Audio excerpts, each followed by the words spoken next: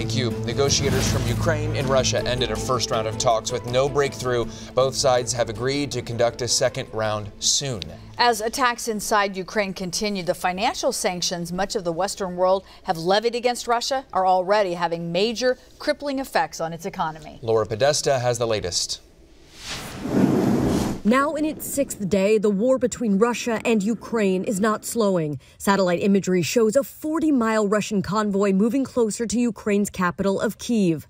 Overnight, more than 70 Ukrainian soldiers were killed on a base near Kharkiv, according to an official from the region. More than half a million people, many of them elderly and children, have left Ukraine, according to the UN Refugee Agency.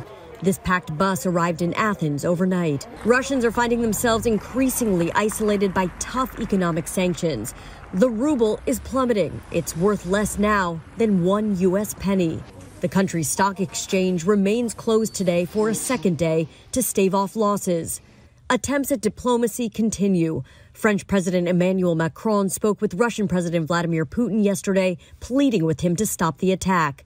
President Biden at this time is not engaging with Putin. We're not ruling it out ever. Uh, it just is not the appropriate moment or the moment uh, for the United States president to have a conversation with the president of a country invading a sovereign country. As images continue to emerge of attacks injuring civilians, the prosecutor of the International Criminal Court says he's launching an investigation into possible war crimes and crimes against humanity.